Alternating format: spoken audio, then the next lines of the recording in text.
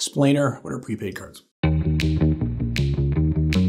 Prepaid cards are like gift cards or reloadable debit cards. You load money onto the card before you use it, and then you can spend that money until it runs out. They're handy for budgeting as you can't spend more than what's on the card. You don't need a bank to use a prepaid card as they don't need to be connected to a bank account. Prepaid cards offer convenience and security, but usually come with some restrictions. Prepaid cards might be tied to a specific store, so they are not always widely accepted, and because you prepay them, you aren't borrowing, so they don't help to build your credit. Sometimes there's an expiration date, or if the card becomes inactive, you can lose funds. In Canada, there are limitations on expiry dates for the funds on cards, but oddly, the card itself can have an expiry date. You might have to pay a fee to move the funds to a new card. Promotional cards can have an expiry date on how long the funds are valid.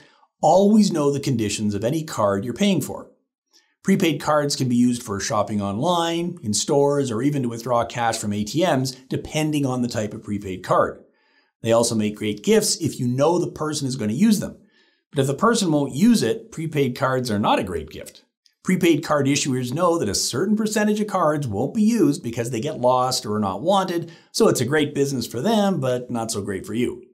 Consider the pros and cons of a prepaid card for managing your finances. Do you need to use them to help manage your budget? Would they be an alternative to a credit card if you don't have or don't qualify for a credit card? Again, if gift giving, consider the needs and wants of the recipients. Regardless, use prepaid cards in a way that helps you manage your money.